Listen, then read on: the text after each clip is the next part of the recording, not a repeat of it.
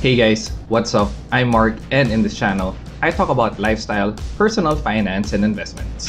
If you're not new to this channel, you would know that I tend to be a little conservative when it comes to my investments. Now I don't do this a lot, but in this video, we're going to be talking about an upcoming IPO. I've only talked about IPOs that I was really excited about, and I've also shared with you those IPOs that I've chosen to pass on with this coming IPO, you would know that I'm probably excited or at least a little bit intrigued of what it has to offer.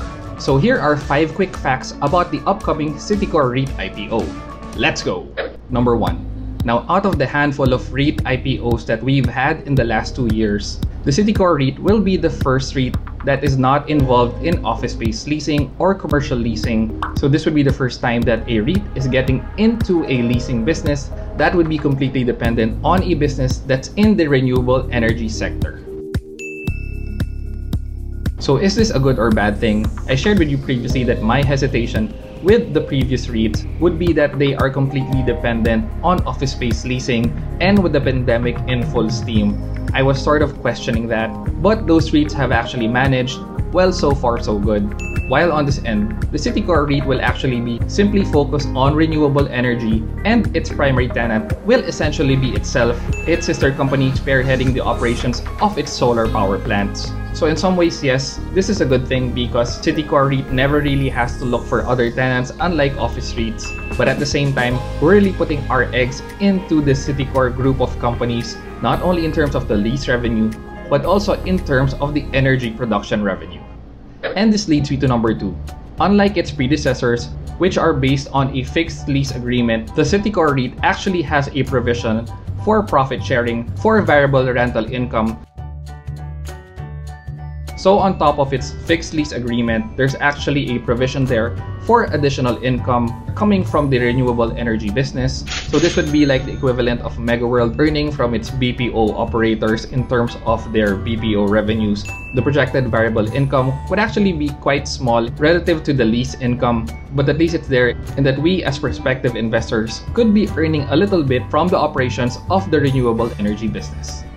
So number three, and perhaps this is the most exciting, Citicore REIT is already in operations and is already revenue generating. Now, isn't this a given? Aren't all REITs and IPOs supposed to be revenue generating anyway? Well, I thought that was the case. But with Solar Philippines IPO in December last year, I found out that you could actually do an IPO without actually having to produce revenue before your IPO.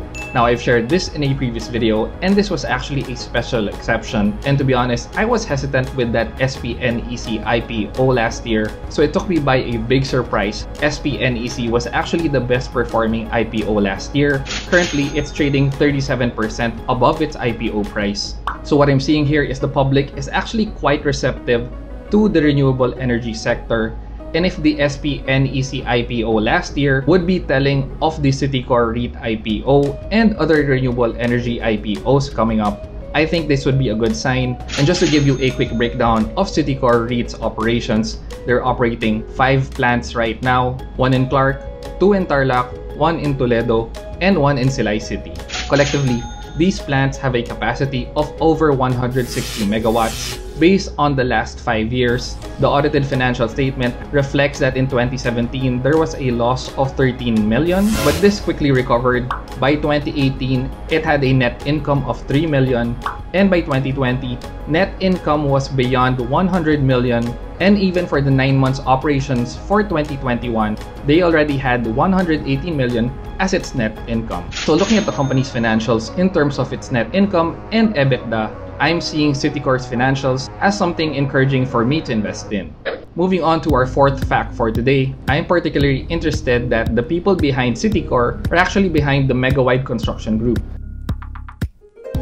Now, if you don't know Megawide, they are probably one of the largest, if not the largest construction company in the Philippines.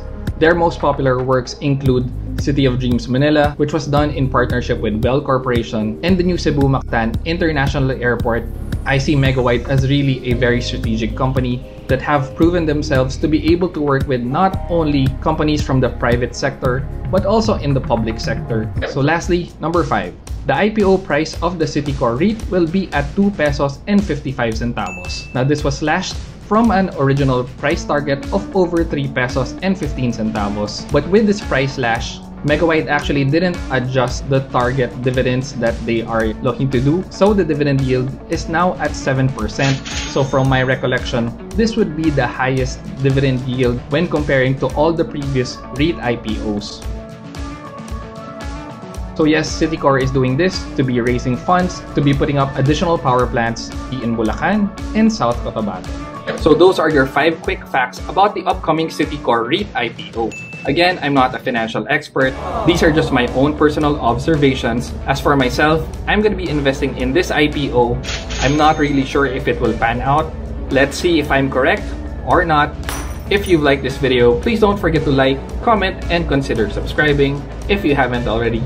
Thanks again for watching guys and happy investing!